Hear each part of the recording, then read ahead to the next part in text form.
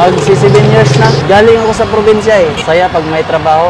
What's up guys? Nandito tayo ngayon sa kalye ng Albuquerque at ito naman yung kalye ng Pardirada para matikman ang legendary Canto Fried Chicken. 7 years na si Kuya Lolo yung nagtitinda dito. Let's go!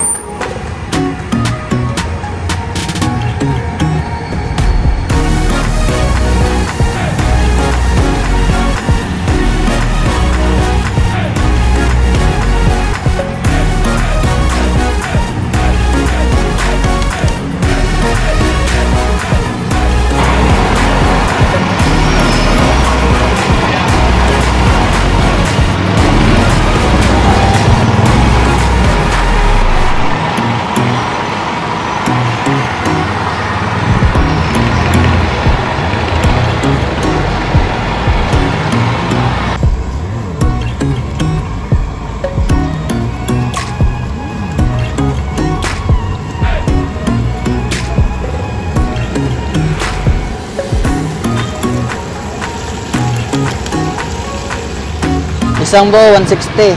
Ganito. 160 yan. Oh, okay. 160. Tapos, Kalahati, 80. 80 pesos. Ito, Oh. 80 pesos Tapos yan. Yung, yung quarter, 40. 40 yan, quarter. Dito, 13.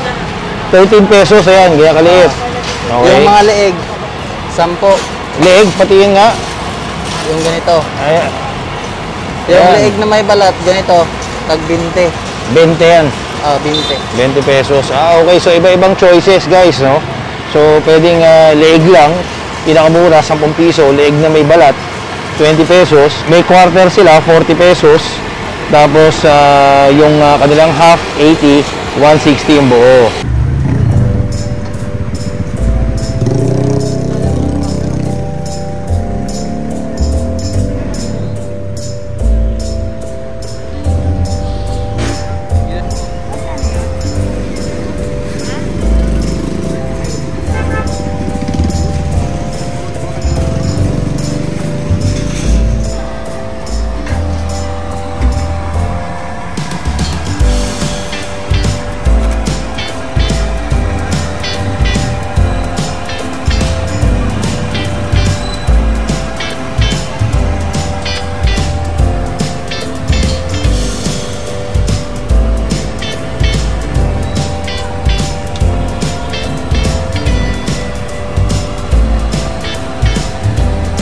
Eto guys, ito si Kuya Loloy, no? Kuya Loloy, ah, gano'n na kayo katagal nagtitinda dito sa, ano, sa lugar niyo, sa pwesto niyo?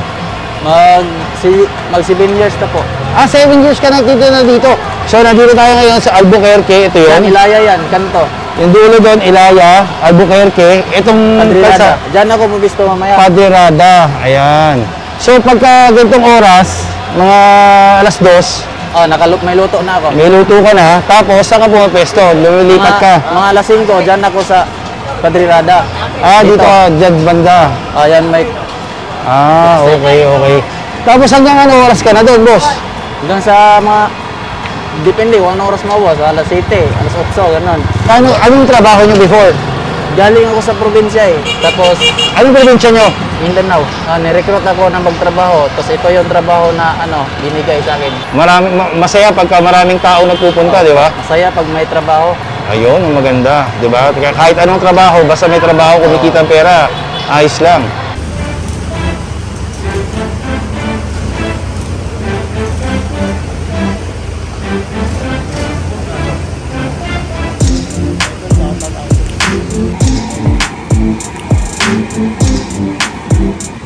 Thank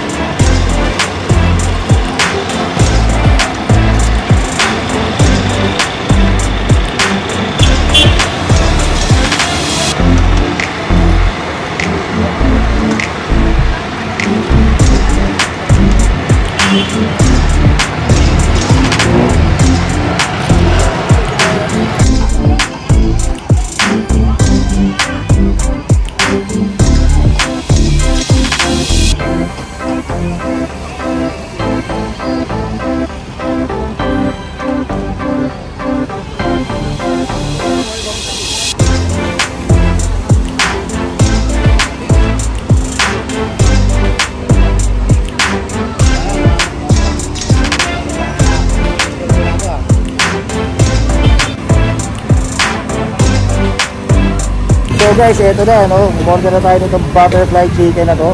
Ayan, titikman natin kung masarap ba talaga dito.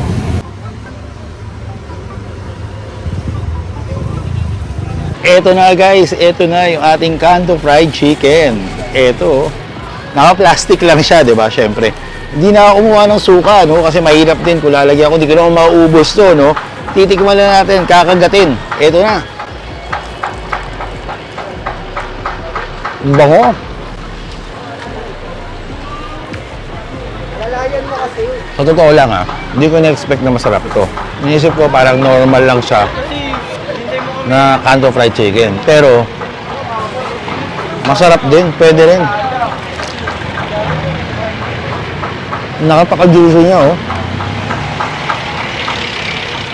Napaka-juicy, napaka-tender ang kanyang laman.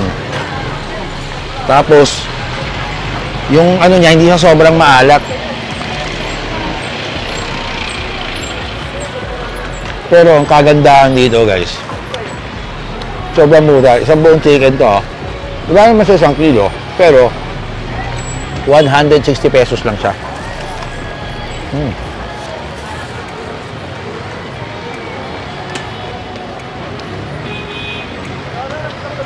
Napaka-juicy talaga. Tino, laki na nakain ko. Lalo ko lang, kagat lang ako dito. eh. Mas lalong sasarap kung may gravy. Tapos kanin. Papak to ah. Papak lang yung ginagawa natin pero sarap eh. Kagaya nyo guys. Ako nasasarapan ako dito para sa akin. Opinion ko yun. Lahat ng tao, iba-iba ng mga opinion. Yung masarap sa akin, maaaring hindi masarap sa inyo.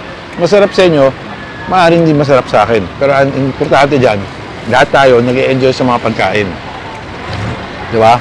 Kaya ako nandito kayo banda sa may ah, Albuquerque Street Corner, Padre Rada, itry nyo pagka mga alas 2, o- alas 2 ng hapon hanggang mga alas 5 hanggang gabi, itry nyo si Kuya Loloy, yung kanyang kanto fried chicken. Manalo din. Solid din eh. Mm. Crispy eh.